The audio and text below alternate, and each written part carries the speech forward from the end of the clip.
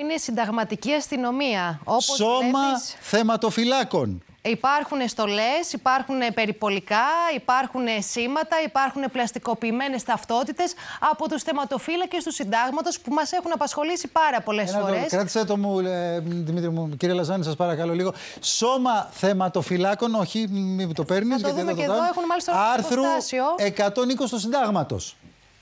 Ε, αυτό το σώμα που έχει βλέπω και τον ε, ήλιο της Βεργίνας ε, δεν είναι, ε, επειδή παραπέμπει λίγο και σε επίσημη οργάνωση, αστυνομία κλπ.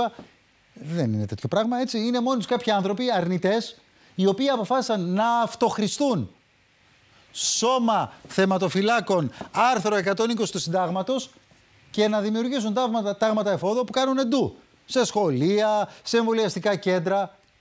Πού φτάσαμε. Πού φτάσαμε, δηλαδή να θέλει όλος να σου σώσει τη ζωή, να σου λέει έλα κάνει το εμβόλιο, τσάμπα είναι και να πηγαίνεις εσύ να κάνεις και έφοδο. Είμαστε σώμα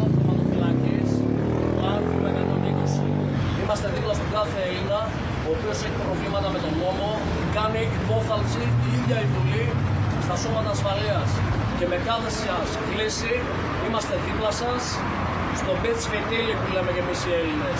Σας ευχαριστώ πάρα πολύ. Με ευλάβεια το σώμα ασφάλειας του Έλληνα πολίτη.